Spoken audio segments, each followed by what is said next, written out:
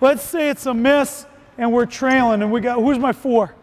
Four trails and five rim runs and let's get one guard on each side. Rim run. Okay, so bring it down.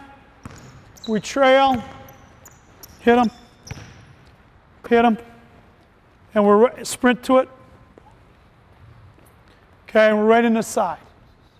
Okay, so now, here's what I want you to do. I want you to do this. Okay, I want to see if you can get a side, a spread, and an alley before we shoot. All right, and that's going to require what? Talking. Okay?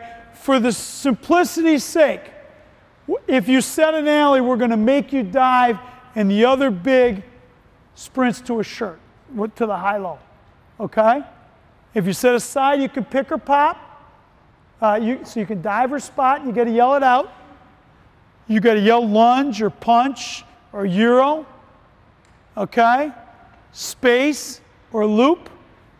Be shot ready, but you're going to get to a side, a spread, or an alley in some fashion. Okay? Let's take it from break spots.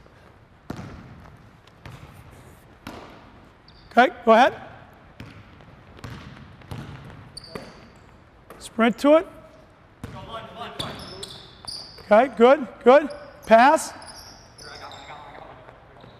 Okay. All right, hold up. Okay. Now, we're going back. All right. Now we're and we're gonna guys, we're gonna go at a little faster pace than this. Okay. Come on back. That's all right. Let's do it again.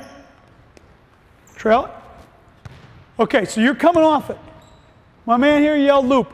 After you pass, you're a perimeter guy. Get out to a space.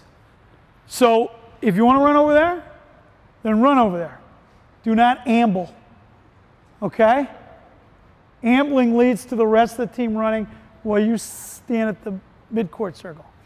If you want to kick out the space over there and you're yelling space. When you came to set that, why? So you come, spread, spread, spread. And let him know. So that lets him know, that lets everyone know what our spacing is, especially early on. Okay, so we're going to do it again, we're, and we're, we're going to go faster. All right, we're loose okay? But we're going to get a side, a spread, and an alley, and then at, or side alley spread. I don't care the order. And then after the third one, we're going to score. Okay? Here we go. Play. Set up. Turn.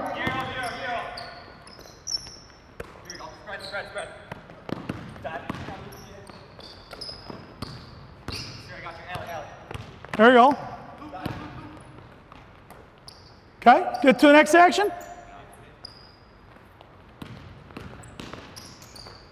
Okay, and then at that point, we're playing a closeout. Now, you set an alley. What do you have to do? Huh? You set an alley, you have to dive. And what do you have to do when you dive? Yell dive. Okay? A, so he knows there's no miscommunication thinking you're popping. B, so you wake up the slumbering giant and he gets his rear end to the top of the key where he's supposed to be so we can continue to run offense. All right, let's do it again.